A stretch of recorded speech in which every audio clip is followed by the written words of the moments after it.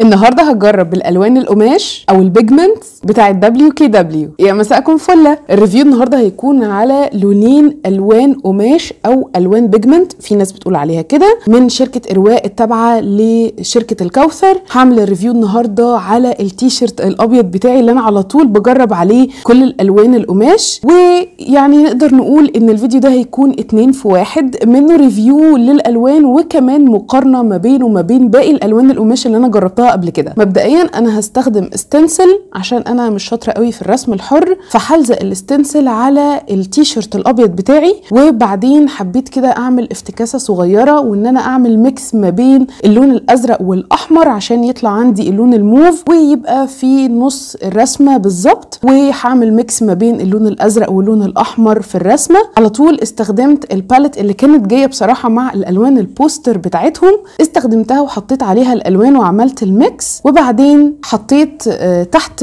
التيشيرت السكتش الكانسون بتاعي عشان ما يطبعش تحت القماش نفسه من ظهر التيشيرت. وبعدين سبت تقريبا التيشيرت نص ساعة وشلت ال sticker ال stencil اللي أنا كنت لازقاه ودي كانت النتيجة. بصراحة الألوان حلوة قوي ال pigment بتاعها تقيل وكمان ألوانها صريحة وواضحة قوي أكتر حتى من ألوان كنت جربتها قبل كده. بس لو أنتوا حابين إن أنا أغسل التيشيرت وأوريكم النتيجة بعد الغسيل قولوا لي في الكومنتس. وبس كده.